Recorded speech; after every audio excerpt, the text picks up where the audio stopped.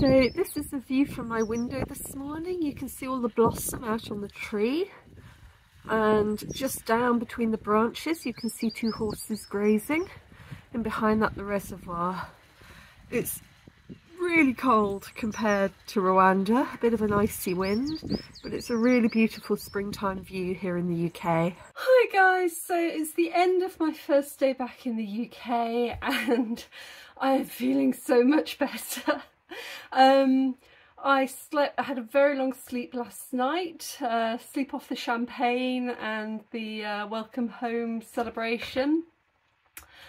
And then I passed out again around about one o'clock and slept for a couple of hours. And, you know, I woke up feeling a bit groggy, but I'm feeling really good now. I feel like I'm pretty much restored, though my body is aching. I don't think I've stood up for so long, for many, many years, so many queues. So there was the non-EU citizen queue to get into Brussels, then there was the queue to get onto Eurostar, and then there was the queue to get out of St Pancras station. So there was just so much standing up and hauling the big bags around. Even though it was heavy, I'm really glad that I decided to bring the larger suitcase because like I couldn't. I couldn't have fitted everything that I wanted to into the smaller one. Um, so, you know, I've got all the clothes I need, all the toiletries that I need, and crucially, I managed to fit my neighbour's present into the larger case to bring with me, which I wouldn't have been able to do into the small one.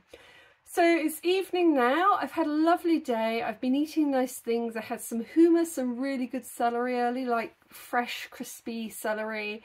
Um, I had, what else did I had? I had a rhubarb yogurt.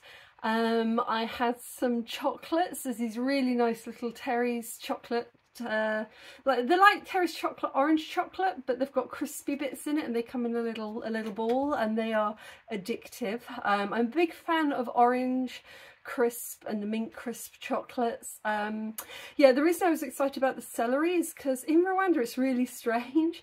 Like you can buy celery leaves as a herb to season soups and things, but nobody really just sells the celery part of it, the part that we would eat in the UK. Uh, it's mostly just the leaves, so it's a bit of a crossover. You know, here we eat the stick, and in Rwanda mostly people eat the leaves as a seasoning, a bit like parsley.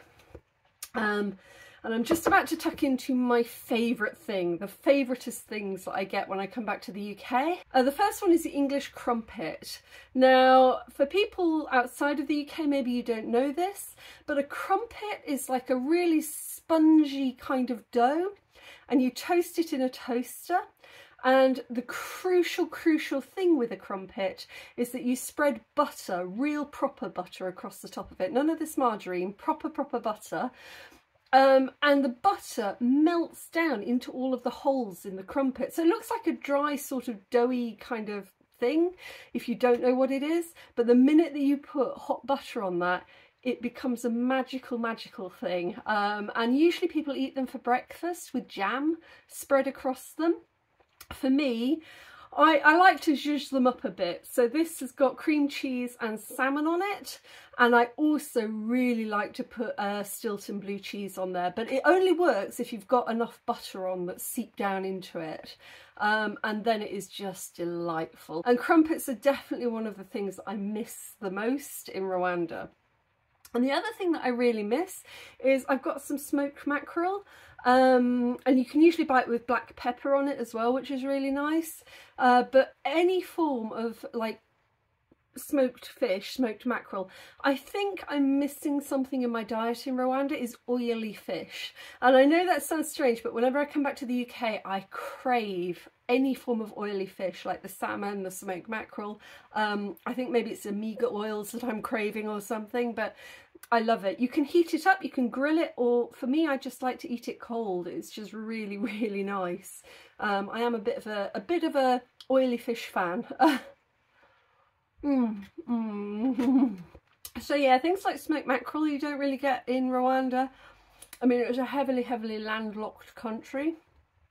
Um, so generally speaking, it's not a good idea to eat a lot of seafood or fish in a country that doesn't have a large fishing industry because often that fish has travelled a really long way under very, very questionable cold chains. Um, so, you, you, know, you want to be a bit careful about that. Um, you can get salmon in Rwanda, but it's only sold in very, very like long strips, like half a fish, and it's so expensive. You know, I would never buy it there. So the only time that I tend to have it is if I'm in a restaurant and it's being served in a restaurant, then I would go for smoked salmon. I wouldn't buy it for home for myself. Whereas here, you get like the, the really nice posh cuts of it. But you can also get something called salmon shavings and they're the little bits of the salmon that get cut off during processing and they package those up and they actually sell those pretty cheaply. So you know they're still good quality they're still edible but they're a lot cheaper than the um than the full slices um but salmon in whatever form it comes I'm a big fan. Um, so yeah, I'm just enjoying eating and sleeping. I've had lots of cups of tea. I had the most gorgeous uh, breakfast this morning. My mum made um, eggs, fried bread, sausage, bacon, tomatoes. It wasn't the full, full English, but it was exactly what I needed. It was, um, it was sort of a half English. So in the UK, it's very, very common for us to have a very large sort of meat-based breakfast. Um, and an English breakfast is, is traditionally sausage, which is usually pork sausage, um, bacon, fried egg, um, fried bread, uh, black pudding is usually very traditional for the full English. Mushrooms, tomato and baked beans. Uh, so I probably will go for a full English at least once before I leave. Um, but oh, it was wonderful. And the sausages are you know, people try to make the full English in Rwanda, but they often use like these beef sausages and there's a very special taste to the pork. The cheap pork sausages that we use in a full English in a greasy spoon um, is a very particular taste and it kind of makes the breakfast. And you can't go using any of this strange American bacon either. It needs to be proper back bacon. Um, so yeah, it's good to be back. Still haven't figured out what I'm wearing for the family do yet and I will explain to you what that is soon-ish. um, it's happening in a couple of days but I'm just at the moment chilling out, relaxing into being back. And it's really beautiful because it's just about springtime now and there's the most gorgeous blossom. There's a little cherry tree up the road and the blossom is just absolutely gorgeous. And out of my window there's a giant tree in full blossom and it's cold but it's beautiful. So winter hasn't completely left yet but it's definitely on its way out. Um, so yeah, it's really, really pretty. I'm pretty much over the horrors of, of the whole journey. I mean, Brussels airport was pretty horrific.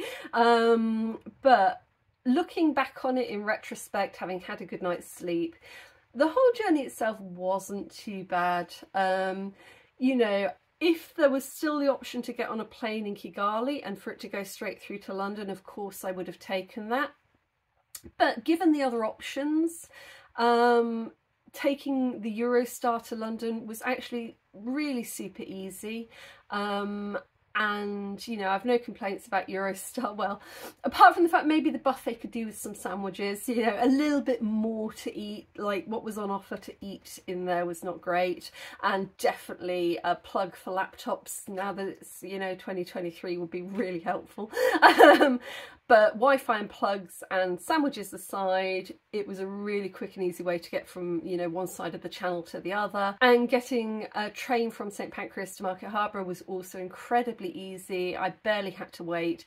But again, kind of expensive. It was about £85 for two stops and about an hour on the train, which seems like a crazy sum of money. Um, but it was worth it and I got home and yeah, so, I mean, it was okay, it was doable, but I was in transit from leaving my house at about um, 8.30 at night in Kigali to arriving by train in Market Harbour at about 6 o'clock the next day. If you take the time difference, the one hour time difference into consideration, I was in transit for almost 24 hours. So, oh, no wonder I'm a bit tired and achy right now. But, you know, I'm here, I made it, and I've got I've got food, so I'm going to enjoy that and just chill out for a bit. Hi guys! So it's the second day in the UK at the moment. Really beautiful blue spring skies and blossom on the trees. It's really beautiful. I am just about to pop downstairs to look through my mum's dress cupboard because this event that's going on, uh, which I will tell you about soon, I promise, uh, but this event is a very formal event and I left Rwanda with jeans and shirts basically, jeans and t-shirts um, and nothing formal at all, one pair of trainers. So um, I need to go and see if there's anything I can wear because if there isn't we're going to pop into town and find something. But I'm quite excited to see what we've got and see if anything actually fits. So let's go see. Okay, so we've got some shoes over here and formal wear over here and some of them are my dresses and some of them are my mum's dresses. So I'm going to try them all on and I've also brought one pair of smart trousers with me um, in case I would rather wear a top. So let's get started. Okay, so I do not like dresses and skirts very much. I feel far more myself if I'm in jeans and a t-shirt, but um, for the sake of family, we're gonna give this a go. Don't laugh too hard. Okay, so this is the top and trousers that I brought from Kigali. This is my one smart outfit. Okay, so this is a dress that I bought some years ago. Um, I really like the lace and I like the green colour. It fits really well around here in the bust, but I can't quite do it up on my own, so I might need some help with that. Um, the only problem is it shows my legs and I'm really self-conscious about my legs because a few years ago um, I split my Achilles. I don't know if you can see in the mirror, but one leg, this leg has got a perfect calf on it, and this leg looks like a drain pipe. There's nothing there, there's no muscle anymore. So one leg looks good and the other doesn't, and I'm a little bit self-conscious about showing my legs now. Another problem that I've just noticed is because I never ever ever wear dresses, um, I am African tan, here to here, golden glow of the equator, and here I am British bleached. So I think I would have to wear, um, I think I'd have to wear some stockings or something with this. I, I don't think I can go mismatched like this. This is not going to work.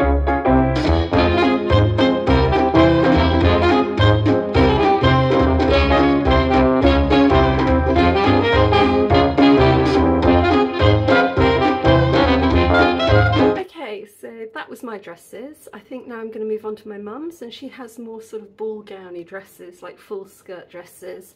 I think if I'm going to wear a dress, I would like a full skirt dress, just partly because of my legs and because the other dresses I tried on, they still fit, but you know, I'm not sure they're going to be totally comfortable for the whole night and I want to be nice and comfortable.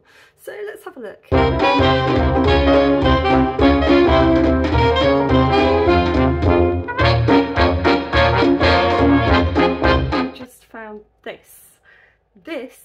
Is a really special dress. This is a dress that I wore as a bridesmaid to my friend Cassie's wedding, I think about 20 years ago, um, coming up for 20 years. I was in my early 20s when she got married. Um, and I can still fit into it and it still does up all the way at the bust. So that's kind of crazy. Um, I don't think it's, it's for this event. I'm just amazed to find it again. Yeah, it's quite nice at the back. It's got this sort of detail hanging down the back. I'm sure there's a technical fashion term for that, but I have no idea what it is.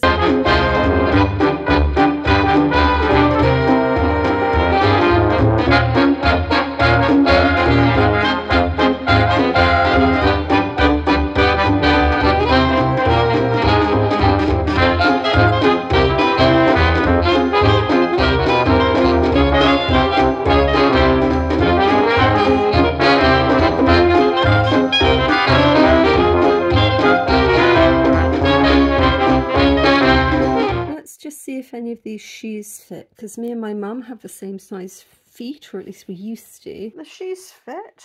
The only thing is I'm already quite tall so when I put tall shoes on I'm really tall. and also it doesn't matter how shallow the heel is, like that's a really, really shallow wedge heel. Uh, it doesn't matter how shallow the heel is, I lose all feeling in my toes after about five minutes. I am not somebody who has ever built to wear high heels. Glad I had that pedi before I left Kigali. Flats are Mia friends. I like flat shoes. They're actually quite Rwandan. It's very stylish in Rwanda, especially if you're wearing a mushanana, which is the national dress, to wear very pointy shoes. So those would be those would be good for a wedding. And there we go. They're actually quite quite a nice um yeah, they're flat, they're quite nice. I could always take the heels and then switch into the flats later on. But I think at least we know that the shoes will fit. Now I just have to figure out what to do about dresses.